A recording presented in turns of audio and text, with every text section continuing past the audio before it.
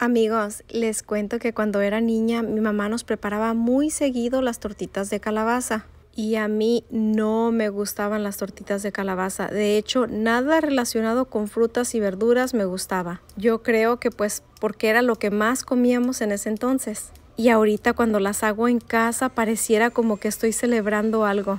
Y es que las tortitas de calabacita tienen su chiste. Lo primero que voy a hacer es lavar y rebanar mis calabacitas. Las voy a dejar un poquito gruesas. También separé las claras de las yemas.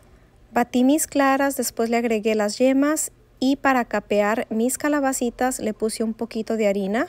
Las pasamos por el huevo y las freímos. Mientras freía mis calabacitas me puse a hacer un arrocito. Este es un arroz blanco. Lo único que le pongo es un dientito de ajo, sal y caldito de pollo.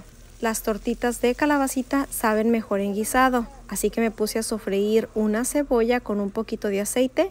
Le agregué un poquito de jitomate, puré de jitomate, sal, pimienta, cominos, un poquito de agua, mezclamos y dejamos reducir. Una vez que comience a hervir, vamos a agregar todas nuestras tortitas. Estas tortitas también las puede hacer rellenas de queso, pero a mí no me gusta hacer las rellenas de queso. Yo les pongo el queso encima. Así que si no sabe qué cocinar el día de hoy, prepare estas tortitas de calabaza